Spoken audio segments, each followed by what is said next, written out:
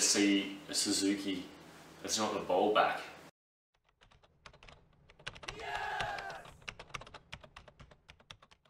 Welcome to this video. This is a bit of a different video. I've got a Suzuki A-style mandolin here and it's a little hard to find info on these things because it doesn't seem like there's many around. But I don't play mandolin very often, but it's actually quite an interesting thing and uh, thank you Paul for letting me borrow this, slash thank you Sebastian who owns this. Um, a bit of info, it has 20 frets, has 8 strings. Hopefully if you're watching this you know that mandolins have 8 strings, but if not that's okay.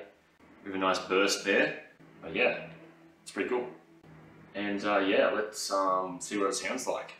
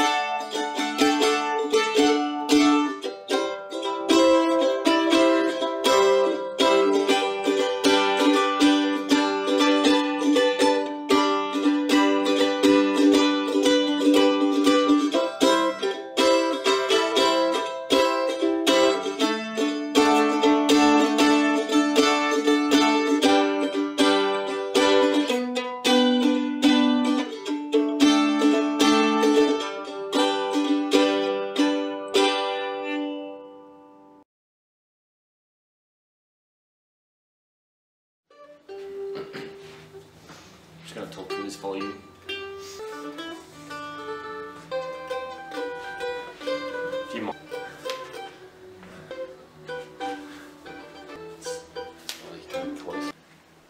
That obviously be editing.